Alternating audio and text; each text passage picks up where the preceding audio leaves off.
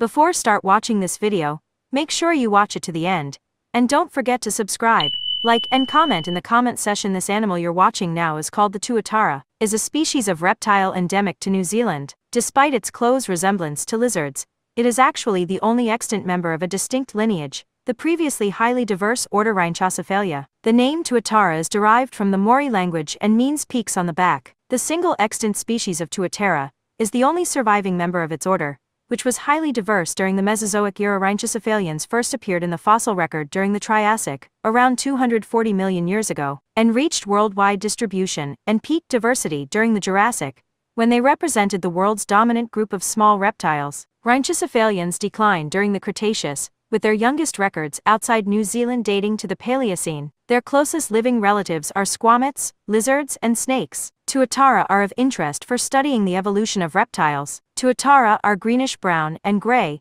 and measure up to 80 centimeters 31 inches from head to tail tip, and weigh up to 1.3 kilograms, 2.9 lb, with a spiny crest along the back, especially pronounced in males. They have two rows of teeth in the upper jaw overlapping one row on the lower jaw, which is unique among living species. They are able to hear, although no external ear is present, and have unique features in their skeleton. Tuatara are sometimes referred to as living fossils. This term is currently deprecated among paleontologists and evolutionary biologists. Although Tuatara have preserved the morphological characteristics of their Mesozoic ancestors, 240 to 230 million years ago, there is no evidence of a continuous fossil record to support the idea that the species has survived unchanged since that time and the species has between 5 and 6 billion base pairs of DNA sequence, nearly twice that of humans. The tuatara has been protected by law since 1895. Tuatara, like many of New Zealand's native animals, are threatened by habitat loss and introduced predators,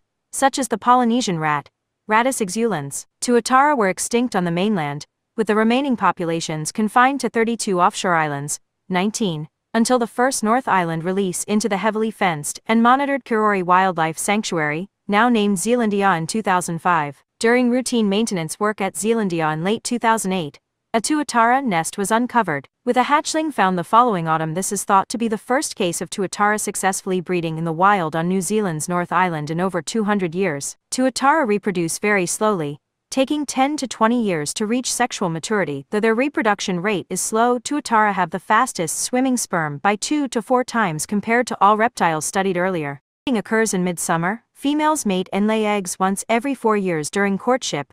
A male makes his skin darker, raises his crests, and parades toward the female. He slowly walks in circles around the female with stiffened legs. The female will either allow the male to mount